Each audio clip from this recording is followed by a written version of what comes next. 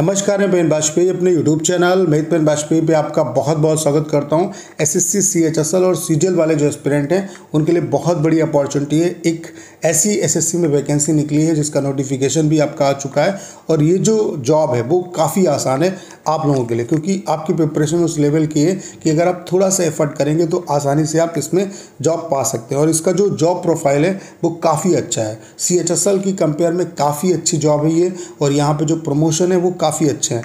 इसके बारे में आपको बता चुका हूँ, कई बार बता चुका हूँ, और आज मैं इसके बारे में डिटेल में बताऊँगा। इसका नोटिफिकेशन जो है, वो एसएससी ने निकाल दिया है। तो कब तक फॉर्म भरे जाएँगे, क्या सिलेबस है, और मतलब किस किस पोर्सन से कितने कितने क्वेश्चन आएँगे, और मतलब स्किल टेस्ट जो है उसका क्राइटेरिया क्या है, सारा कुछ मैं आपको यहाँ पे बताऊँगा। बस आप सभी से रिक्वेस्ट है कि इस वीडियो को आप पूरा देखिए। आपको सारी जानकारी बहुत अच्छे तरीके से समझ में आने वाली है। तो चलिए स्टार्ट कर वीडियो को स्टार्ट करने से पहले आप सभी को इस बुक के बारे में बताना चाहता हूँ। ये एस पब्लिकेशन की बुक है। ये आपके लिए काफ़ी हेल्पफुल होने वाली है क्योंकि इसमें हिस्ट्री के सारे क्वेश्चन जो अभी तक एसएससी के एग्ज़ाम में आ चुके हैं, उन्नीस सौ निन्यानवे से लेकर के अब तक, चाहे वो सीएचएसएल का एग्ज़ाम हो सी का एग्ज़ाम हो सीपीओ का मतलब एसएससी जितने भी एग्ज़ाम कराता है, उसमें हिस्ट्री के जो क्वेश्चन अभी तक पूछे गए वो सारे क्वेश्चन इस बुक में एक जगह आपको मिल जाएँगे। तो अगर आप इस बुक पे अच्छे तरीके से काम करते हैं तो डेफिनेटली आपको बहुत अच्छा यहाँ पे बेटेज मिलेगा और आप काफ़ी अच्छा इस सेक्शन में कर सकते हैं। तो अगर आपको इस बुक को परचेज करना है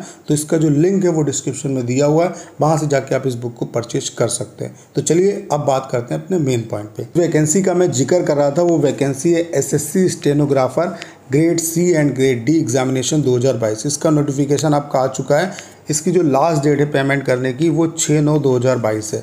अब इसके बारे में क्यों आपको बता रहा हूँ? क्योंकि जो सी एच एस एल वाले बच्चे हैं और सी जी एल वाले बच्चे हैं, वो ज़रूर इसमें फॉर्म फिलअप करें, क्योंकि आप थोड़ा सा अगर एफर्ट करेंगे तो आप आसानी से इसमें जॉब पा सकते हैं। क्योंकि सी एच एस एल की अगर आप प्रिपरेशन कर रहे हैं तो आप टाइपिंग भी सीख रहे हैं, ठीक है? तो टाइपिंग आपकी अच्छी खासी है।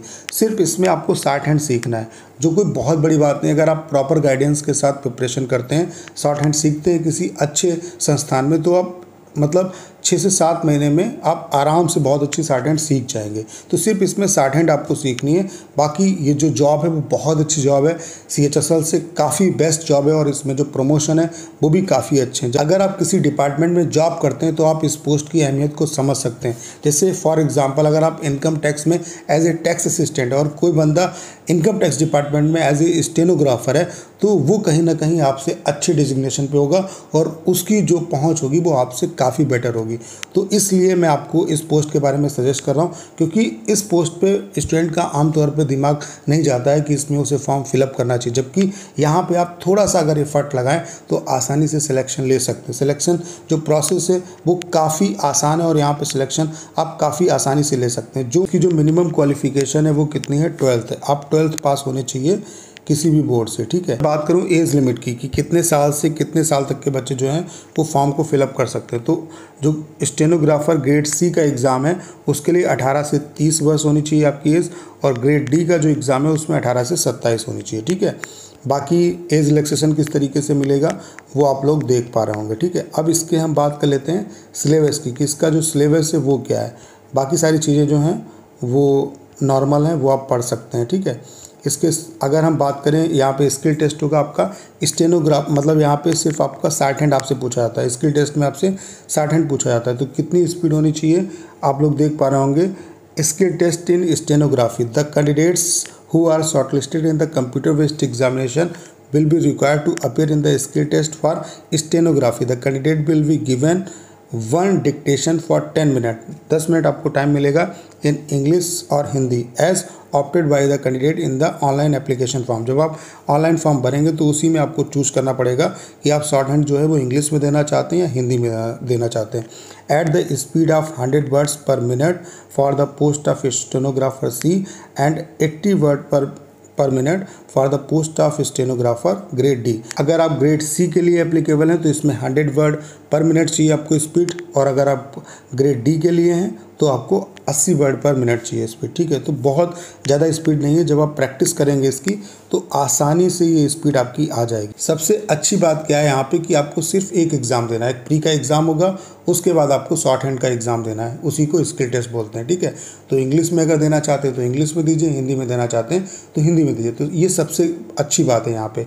ऐसा नहीं कि आपको टीयर टू देना है टीयर थ्री देना है, सिर्फ़ आपको एक एग्ज़ाम देना है। अब सिलेबस क्या है? यहाँ पे रीजनिंग जो है वो पचास क्वेश्चन इसके पूछे जाएँगे जीएस जो है उसके पचास क्वेश्चन पूछे जाएँगे, और जो इंग्लिश है उसके सौ क्वेश्चन आएँगे। यानी कि टोटल जो पेपर होगा वो दो सौ क्वेश्चन होंगे और 200 नंबर का होगा।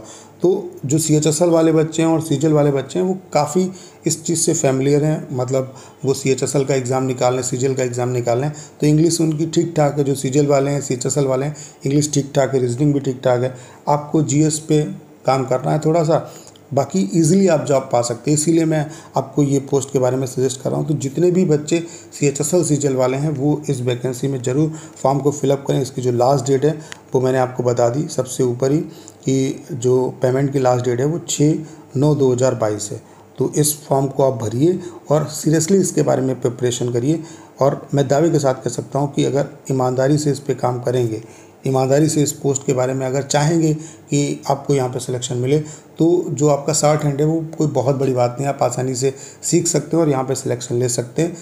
सी जी एल की कंपेयर में और सी एच एस एल की कंपेयर में यहाँ पे सिलेक्शन लेना काफ़ी आसान है और सी एच एस एल में इस बार बहुत ज़्यादा कंपटीशन होने वाला है, क्योंकि पी एस सी की वैकेंसी अलग हो गई हैं तो काफ़ी कम वैकेंसी आएँगी, जिसकी वजह से यहाँ पे काफ़ी टफ कंपटीशन जो है, वो होने वाला है। तो जो सी एच एस एल वाले बच्चे हैं और सी वाले बच्चे हैं, वो इस पोस्ट के बारे में ज़रूर सोचें और इसमें फॉर्म ज़रूर फिलअप अब इस चैनल पे मैं आपको कंप्लीट स्ट्रेटजी भी प्रोवाइड कराऊँगा कि कैसे आप इस एग्ज़ाम को क्रैक कर सकते हैं। तो सारा कुछ इस चैनल पे आपको मिलेगा। तो उम्मीद करता हूँ कि जो बातें मैं आप तक पहुँचाना चाहता था, उन बातों को आप अच्छे तरीके से समझ पाए होंगे। आपको करना क्या है, इस वीडियो को ज़्यादा शेयर करना है। उसके अलावा अगर आप चैनल पर नए हैं और आपने अभी तक इसे सब्सक्राइब नहीं किया है तो प्लीज़ चैनल को सब्सक्राइब करना मत भूलिएगा।